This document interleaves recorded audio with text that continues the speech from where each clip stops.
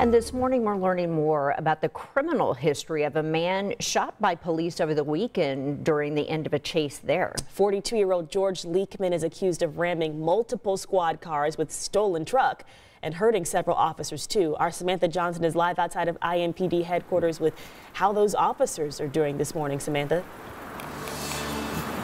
Well, Julia, we know the injured officers are all home from the hospital. They are on administrative leave during this investigation. As for Leachman, we are looking into his past run-ins with police, and we've been reading through the records that show this is not the first time he's done something like this. So this weekend's incident happened over on the east side. That's where there was a traffic stop when officers tried to pull over a stolen truck. Police say Leachman was behind the wheel, put the truck in reverse, and slammed into a squad car.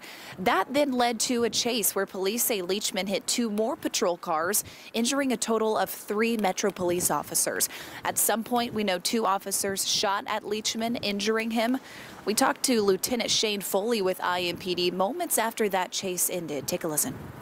It's certainly uncommon. Um, I'm not familiar with any recent that are to this extent where three police vehicles were disabled.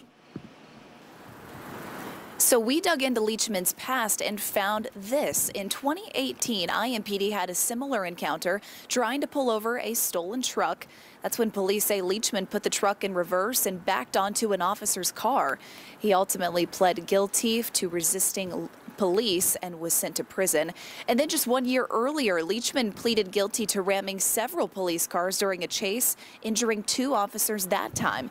He was supposed to be on GPS monitoring, but police say Leachman removed that ankle monitor and took off. Right now, police are calling Leachman a serious violent felon. He has not been formally charged yet for this latest incident, but we do expect that to happen in the coming days. We're live in Indianapolis this morning. Samantha Johnson, 13 News.